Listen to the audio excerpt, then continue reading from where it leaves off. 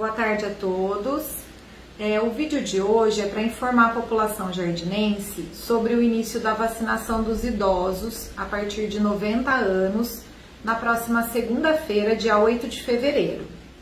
Nós gostaríamos que, se possível, os idosos que têm acesso à internet ou seus familiares é, entrassem na página oficial da prefeitura no www.sajardim.sp.gov.br e preenchessem para nos auxiliar um formulário de pré-cadastro da vacinação que está inserido lá no site.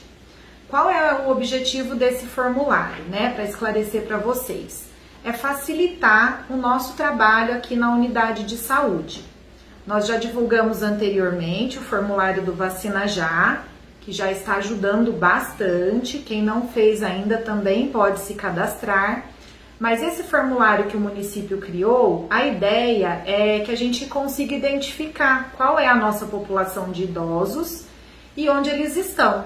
Se eles são acamados, se eles têm condições de vir até a unidade de saúde.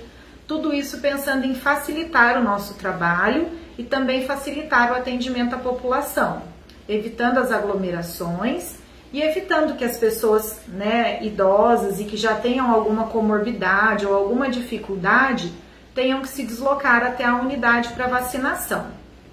É, esse formulário ele não, não significa uma reserva de doses, tá? Ele é apenas para nos auxiliar mesmo. É, mas para as pessoas que conseguirem acessar, se você tem um, um, idoso acamado em casa, nós conseguiremos entrar em contato com a família para poder agendar a data e horário dessa vacinação. Com isso, a gente consegue também evitar a perda de doses, porque os frascos, depois de abertos, é, eles têm um tempo pré-determinado de validade. Dessa vez, os frascos eles estão vindo em frascos de 10 doses. Então, para evitar o desperdício, é que também nós pensamos é, nesse formulário para poder a gente organizar melhor a vacinação. Então, só recapitulando, a partir de segunda-feira, das 8 ao meio-dia, a vacinação aqui na Unidade Mista de Saúde Farmacêutico Raul da Costa Câmara, para aqueles idosos que tiverem condições de se deslocarem até aqui.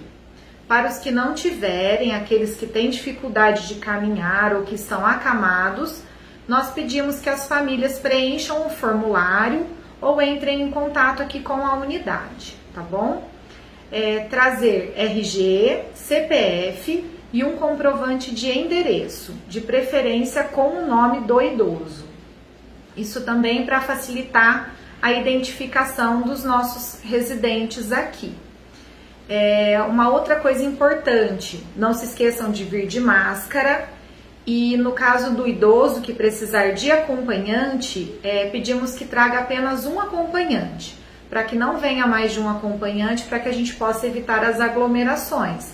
Porque na, é, ao mesmo tempo em que nós estamos realizando a vacina, nós temos outros atendimentos aqui na unidade de saúde, tá bom? Boa tarde a todos. Na medida em que tivermos informações sobre as outras faixas etárias, né, para vacinação, os, os abaixo de 90 anos, nós iremos informando vocês através dos vídeos e através das redes sociais. Um bom final de semana a todos.